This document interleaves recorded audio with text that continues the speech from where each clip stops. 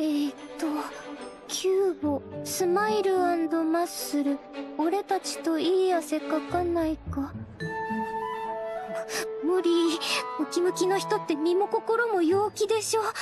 しけったビスケットみたいな私じゃ近づくのも困難だよ。こっちは未経験者歓迎。やりがいのある笑顔あふれる職場です。ここれなら良さそうじゃない？え絶対ダメ。わ分かったよ父ちゃん。困ったな。私でもできそうなお仕事なんて全然ないよ。お仕事一つ見つけられないなんて。やっぱり私ダメだな。そそうなんです。この前お仕事クビになっちゃってそれで。先日はまままま本当に申し訳。そそれは助かるんですけど。ででもこの前私のせいでこの人までクビになっちゃったのにまた紹介してほしいなんて厚かましいよ。厚かましいんだよ。これからもランドソルで活動していくためにもバイトくらい一人で見つけなきゃ。えっとえー、っとあれ？なんだろうこの光。あ私の思いに天が導いてくれてるのかな？ででもちょっと強すぎ。ま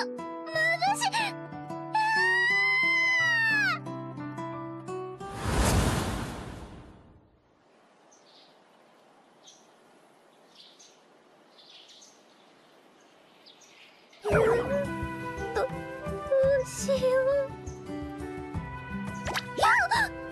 あ。えなななななんで？なんでこの人私に気づいたの？み見つけられるはずがないのに。そそれともあまりのダサさに目に留まっちゃったとか？あうついな。そんなことよりこの事態をどうしよう。都会の人はなんだか怖いしひどいことされちゃうのかな。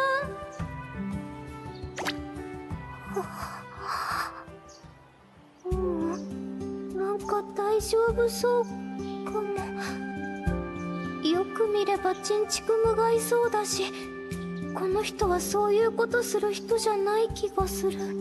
このまま人知れず朽ち果て壁のシミになるよりもまずはこの人を頼ってみようかな。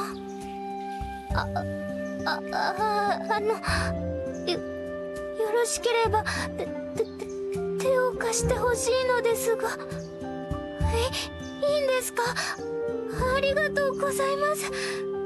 えっとあ私この町に来たばかりで都会の圧に押しつぶされそうになりながらどうにか通う学校の手続きを済ませましてでもここまででもう疲労と辛労でぐったりでは早く自宅のアパートに帰って休みたくて地図を見てたらその風で地図が飛ばされまして地図を追いかけてるうちに駅まで戻ってきちゃって結局地図は見つからないし一歩も動けずこのありさまで。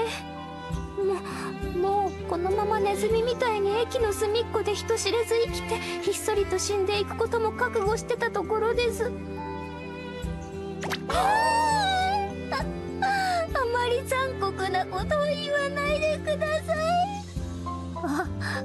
私みたいな陰キャが都会の人に話しかけるなんてかかか考えただけでももうあばばばばばばばばばでですのでよろしければこのメモに書いてある住所まで案内してもらえたらば場所わかりますか？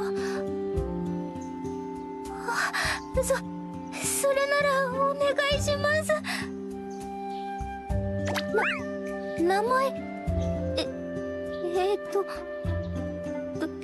どうしよう。悪い人じゃないとは思うけど本名を明かすのはちょっと怖いよね。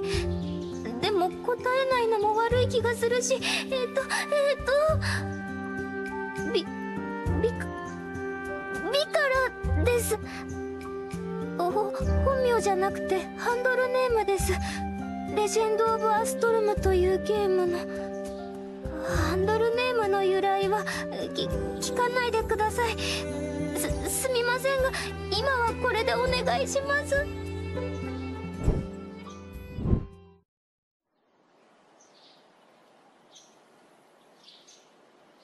あ商店街ですか？ここ通るんですか？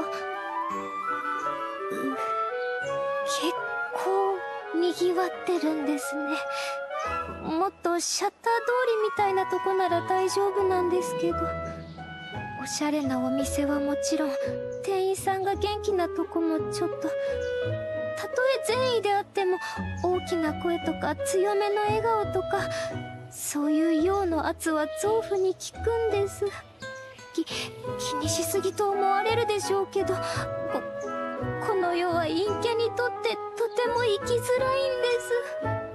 ささあ早くこの陽キャの巣窟を抜け出しましょう。あれ？この音楽はあの電気屋さんから聞こえてるの？このテレビもしかして。やっぱり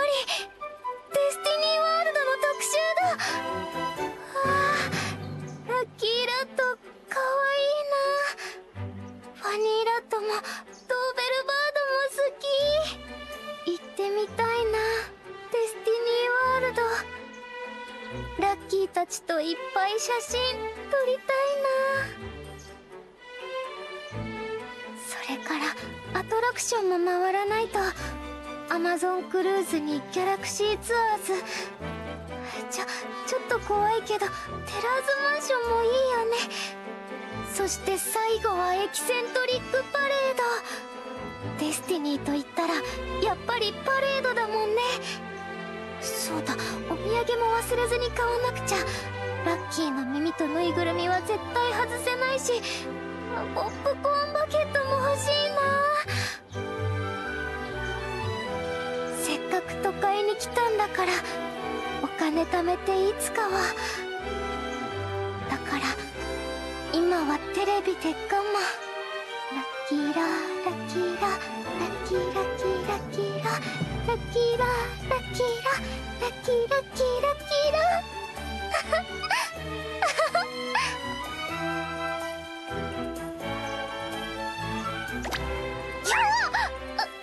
私ついでもはい好きですデスティニーデスティニーキャラはみんな可愛くてキラキラしていてあ私とは大違いで。だからこそ。惹かれてしまうんです。だだからいつかデスティニーワールドのキャストになりたいななんて思ってたり。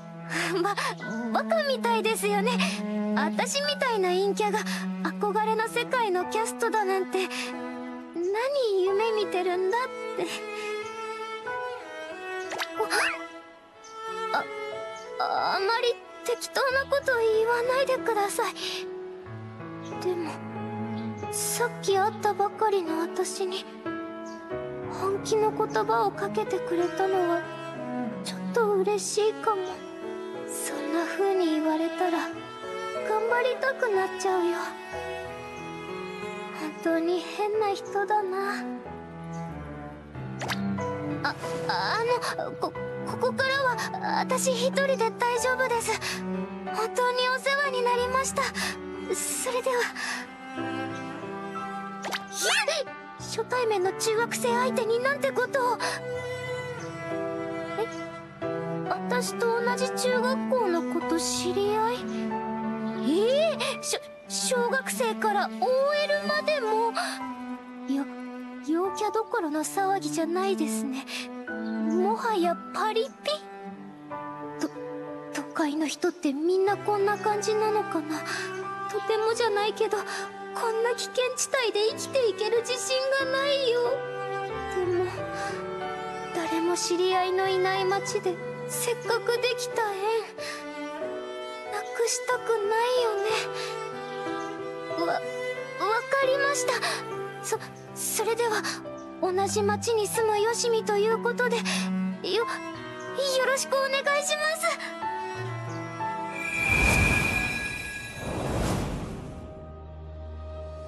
す。はいはいお疲れ様。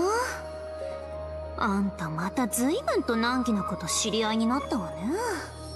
そういう子が集まるような匂いでも出てるんじゃないの？まあどんな子が相手でも。決して態度を変えないのはあんたの美徳よね。それにしてもビカラちゃんだっけ？あの性格だとこれからも苦労するでしょうね。友達も簡単にはできないだろうから知り合った手前あんたはしっかり手助けしてあげなさいよ。それじゃあ今日はここまで。またね。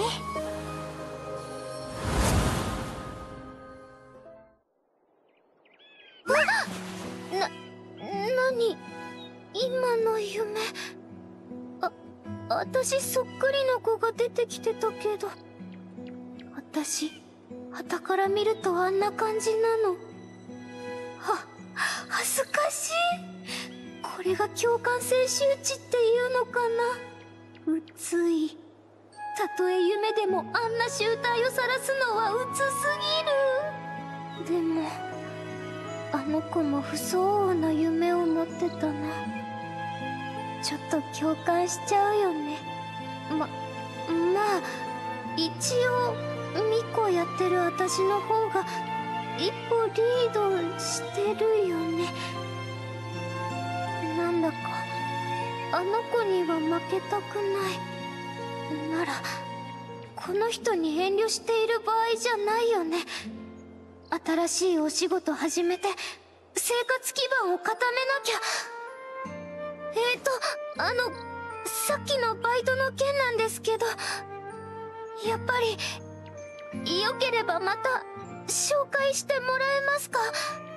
あでもできればそのお刺身にお花を乗せる仕事とか誰とも喋らずにできる簡単そうなのがいいなぁなんて。思ったり。